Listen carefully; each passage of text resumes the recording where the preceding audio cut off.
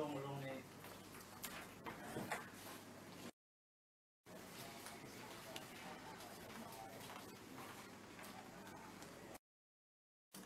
ก็ขออนุญาตครับเชิญครับครับเดี๋ยวผมขอบคุณนะครับขอบคุณครับครับผม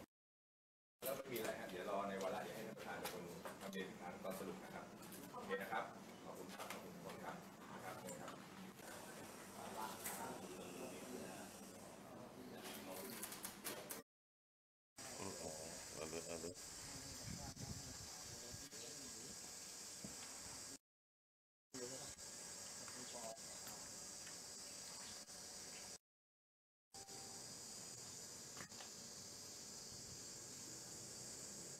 ครับสำหรับในกรณีของ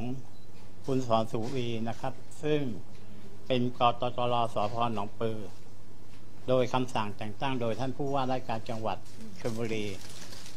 หนังสือฉบับที่ 24ครับ2562 นะครับ ท่านเป็นกตรของสพหนองปือจริงนะครับ แล้ววันนี้คณะกรรมการกตจรสพหนองปือ ก็ได้ร่วมพิจารณา เห็นว่าคุณสอนสุวีเนี่ย ทำความ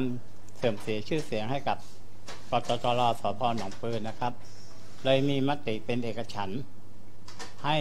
ท่านพ้นตำแหน่งจากกตจรสพหนองปือตั้งแต่บัดนี้เป็นต้นไป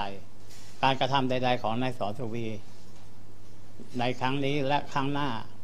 ไม่เกี่ยวกับกตจรสพหนองปือนะครับ ขอบคุณครับทุกท่านครับ เรื่องนี้คือลงน้ำแล้วเรียบร้อยหรือยังไง ก็เดี๋ยวจะต้องนำเสนอให้กับทางจังหวัด